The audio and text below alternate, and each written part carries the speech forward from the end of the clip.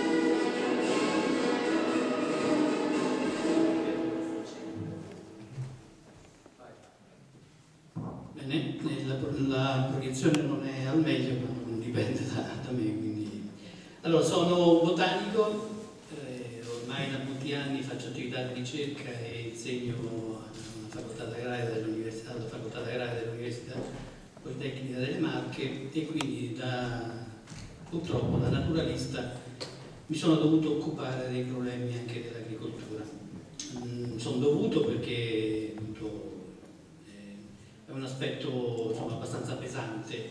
è un tema abbastanza pesante, tuttora insomma, alcune, alcune problematiche sono emerse da questi primi interventi sono già abbastanza diciamo, illuminanti sul, su un problema grave che colpisce tutta la, sistema produttivo e non solo italiano e non solo. E purtroppo sono tra i pochi che si occupa di andare a vedere che cosa succede, perché dire che un, si, si, fa agricoltura sostenibile eh, significa dire una cosa eh, priva di ogni diciamo, concretezza e quindi occorre che qualcuno si faccia si, si, prenda questo carico. Ora fare questa relazione in dieci minuti eh, sarà difficile, però appunto mm, cercherò di utilizzarla il più possibile, ma dove arrivo eh, finiamo, eventualmente se sono argomenti che trattati troppo superficialmente potessero essere approfonditi potremo farlo eventualmente nelle, nelle domande del, del pubblico. Eh, lascio rapidamente le parti scritte perché appunto se no, eh, se no non arrivo in fondo. E purtroppo appunto la biodiversità in Italia è un termine che si usa molto, si ne abusa anche, ma di cui appunto non c'è conoscenza, non c'è misura, non c'è osservazione, non c'è una base di osservazione. noi stiamo al terzo settennato dell'applicazione della politica agricola comunitaria cui uno dei pilastri più importanti riguarda le misure agroambientali e la domanda che sistematicamente a ogni fine ciclo l'Europa ci fa è dopo sette anni di applicazione dei finanziamenti dell'Unione Europea per le misure agroambientali la biodiversità è aumentata, è diminuita o rimasta tal quale? Bene, non c'è una regione italiana che ha impegnato, creato un sistema di osservazione almeno di aree campioni, non dico di tutto il territorio, che sicuramente è un'opera ciclopica difficile da fare, ma aree campioni dove valutare che cosa sta succedendo. Ora no, me la faccio corta perché appunto purtroppo io queste cose le faccio quasi sempre con i miei studenti con le attività di, di tesi, quasi mai riesco ad avere finanziamenti dal Ministero, dalle regioni, dalle locali, perché c'è un grande disinteresse, una grande poca conoscenza, diciamo, ignoranza di queste problematiche. E io non perdo l'occasione per trasmettere quelle che sono le informazioni che io ho. Quindi salterò alcune, alcune informazioni. Intanto, vabbè, il, una panoramica su quello che sta succedendo nei nostri paesaggi, che sembrano molto belli, armoniosi, colline dolci, in realtà se si va a vedere con attenzione si vede che appunto i nostri paesaggi sono veramente molto maltrattati, molto maltrattati.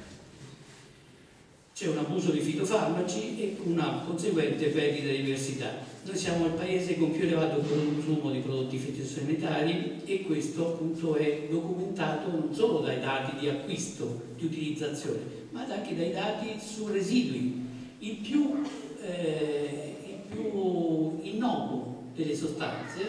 il glifosato, un diserbante totale, che c'è in tutte le piante verdi, è praticamente presente nelle acque, dovrebbe essere eh, immediatamente o rapidamente eh, degradato in ambiente, sul terreno. Ebbene è dal 2010, dal 2008 fino ad oggi, tutti gli anni sistematicamente misurato sulle acque superficiali come l'inquinante più abbondante presente sulle acque che corrono in superficie. Questo lo vedremo anche con alcuni aspetti diciamo, di ricadute negative per la nostra salute, anche se questo non è il mio tema, però appunto ne dedicherò solo una piccola parte della mia relazione. Quello che però appunto è avvenuto è che appunto che si ha una carenza vistosa di biodiversità e nessuno se ne, se ne preoccupa perché come se fossero appunto ecco, tanti apiari, se abbiamo parlato di apiari non documentati che muoiono, crescono, si creano, nessuno lo sa e nessuno si preoccupa. Considerate che noi le api le controlliamo perché abbiamo un interesse, almeno chi, chi alleva ha l'interesse, naturalmente chi usa il miele ha eh, di, di, di suo anche un interesse a utilizzarlo. Ma quanti insetti muoiono di cui noi non sappiamo neppure l'esistenza? Ma ci si rende conto di che cosa significa utilizzare tante sostanze chimiche e vi dico appunto il diserbo è quella più eh, considerata almeno più innocua, ma ci sono tutti gli insetticidi che soprattutto vengono utilizzati nei pianti fruttiferi, nei vitigni, eh, arboreti da frutta, eccetera, che hanno, hanno un impatto diretto anche su noi, non solo sulla fauna qualche esempio di quello che è successo. L'uso eccessivo di servanti ha portato alla completa perdita di una grande quantità di flora che pensate per più di 20.000 anni ci ha accompagnato, accompagnato i nostri grani, la nostra coltivazione del grano e abbastanza bastati poche decine di anni per farle completamente scomparire. Alcune delle specie che ormai vediamo solo in qualche raro campo coltivato ancora tradizionalmente nelle zone pedemontane non entro nel dettaglio perché sono veramente tantissimi. La nostra regione e molte altre regioni del versante adriatico che hanno una struttura analoga dalla Romagna fino al Molise praticamente è divisa in due, in due metà e poi appunto l'ho collegato un po' anche alla diversità dei mieli, io ho studiato i mieli delle Marche attraverso i pollini e le piante collegate e era per una DOP che è un progetto del 2003-2004 buon fine, e, e, che divide appunto le Marche in due zone che sono separate da quella linea tratteggiata gialla che divide le zone interne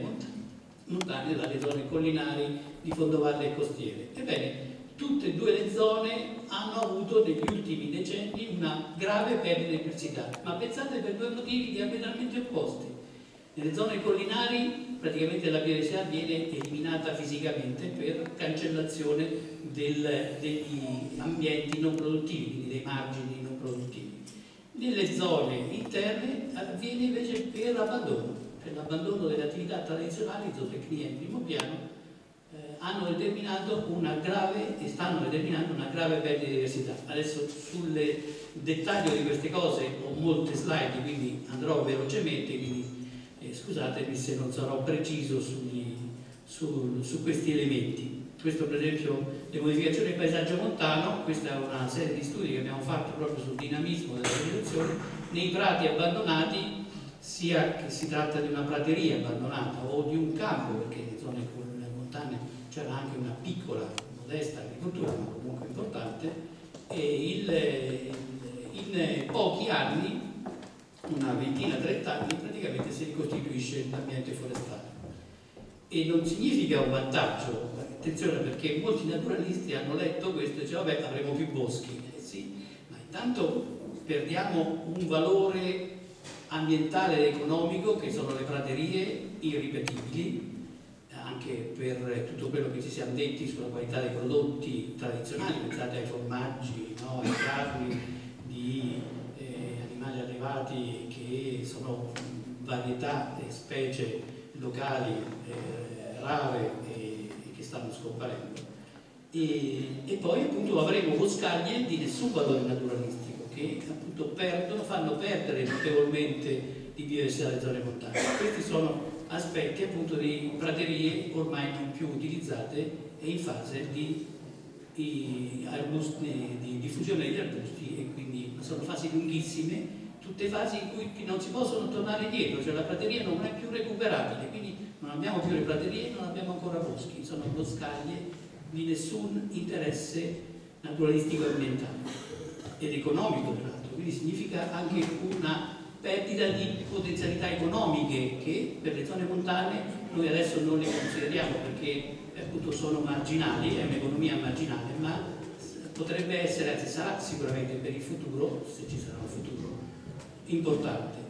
Il, il paesaggio collinare, questo è il paesaggio collinare disegnato, ma ah, avevo raccolto anche delle foto, poi mi sono dimenticato di metterle, è una ricostruzione del paesaggio degli anni 50, fino agli anni 50, e questa è la stessa situazione come oggi.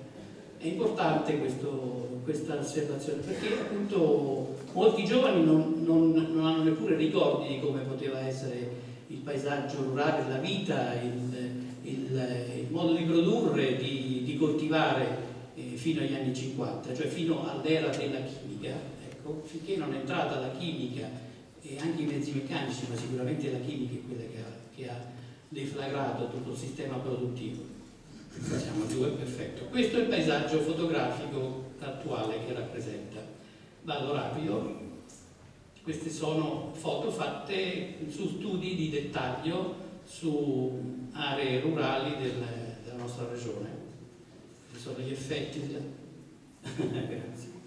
No, cerco di stare, dove arrivo mi fermano. Ti ringrazio il, il diserbo viene fatto non solo nei campi, non solo nelle aree marginali al di fuori dei campi, molti agricoltori pensano di risparmiare tempo e, e lavoro facendo diserbo sulle scarpate e, questo è diventato addirittura uno, una tecnica per un ente pubblico, una, una, provincia che addirittura fa questo sistematicamente ormai da, dal 2010, quindi ormai da 5 anni. Purtroppo anche l'uso del, il cattivo uso dei fiumi, eh, i danni che abbiamo avuto quest'anno dalle sondazioni purtroppo hanno dato alla stura a questi appetiti di intervento sui fiumi di tipo meccanico che eh, rendono ancora più, più fragili queste strutture e ci espongono ancora a danni ancora più gravi, però stranamente non riusciamo a uscire da questo circolo eh, vizioso. Questa è una foto che ho fatto a un eh, allevatore, un apiario, ho fatto il diserbo prima di cominciare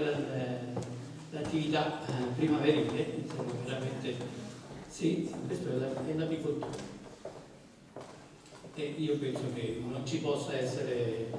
nessun commento a queste immagini. Questo è quello che vi dicevo prima, il, il diserbante innocuo, il glifosate, ecco guardate, è AMPA che è l'acido di degradazione del glifosate, il glifosate stesso sono al primo posto nelle sostanze inquinanti trovate sulle acque superficiali e queste sostanze, vabbè, lascio perdere perché, ecco, comunque in America dove se ne fa un abuso perché si fanno coltivazioni di OGM,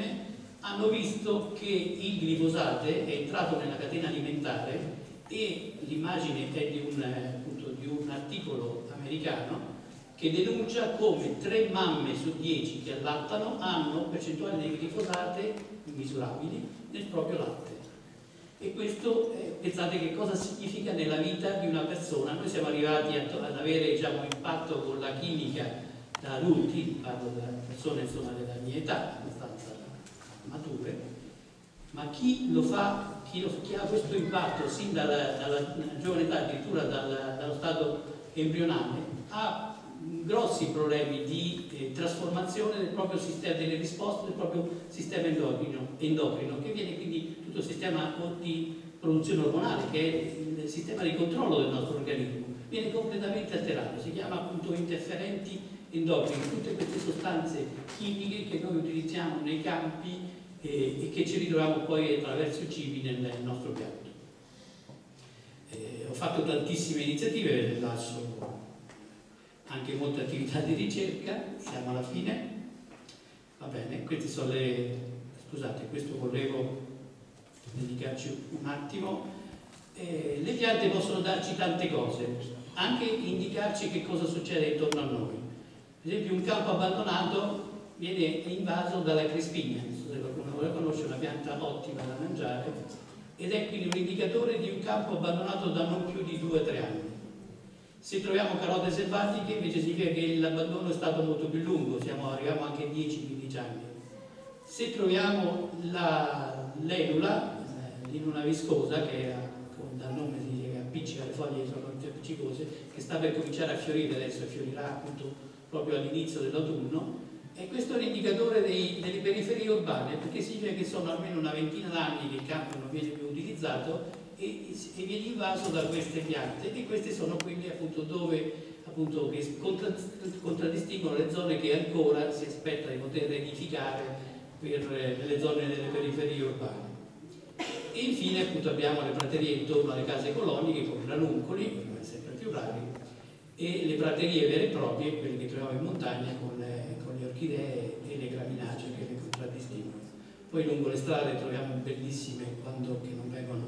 alterate formazioni di leguminose, di lamiace che appunto indicano fasi vicine al bosco, che si avvicinano al bosco, fino all'orlo forestale, quindi con la, la pervinca, che si contraddistingue proprio il margine del bosco. Bon, eh, vi salto tantissime cose sulla, anche sugli studi sul deflusso, perché appunto, però appunto sono situazioni abbastanza gravi. Ecco, queste sono state misurate sul terreno. Le, tutta l'idrografia minore viene completamente cancellata durante le lavorazioni e questo diciamo, rispettando le norme di, di, accesso ai fondi europei, quindi, quindi tutta legalità e lascio da parte tutto quello che sarebbe il, il prossimo PSR e gli studi di elettrobotanica, stare. Ah, ecco, un progetto interessante al Parco del Conero, finisco con questa, ecco, almeno una nota positiva perché sennò effettivamente lasciarci domenica mattina con un quadro così desolante sarebbe un po'... Ecco, eh, al Parco del Conero sono riuscito a far passare un progetto finanziato dalla Regione dopo lunga e penosa malattia, però appunto in cui una decina di aziende biologiche adesso appunto eh, si sono impegnate a conoscere, raccogliere e, mettere a disposizione dei ristoranti, delle, delle, eh, degli agriturismi della zona appunto le piante spontanee che crescono nel loro ambiente, quindi conoscono e sanno che cosa significa lasciare un,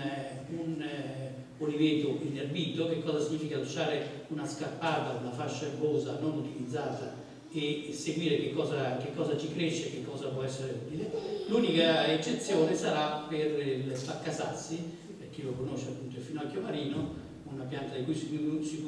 utilizzano le foglie carnose eh, come anche come sottacepi, come ottimo eh, piatto del,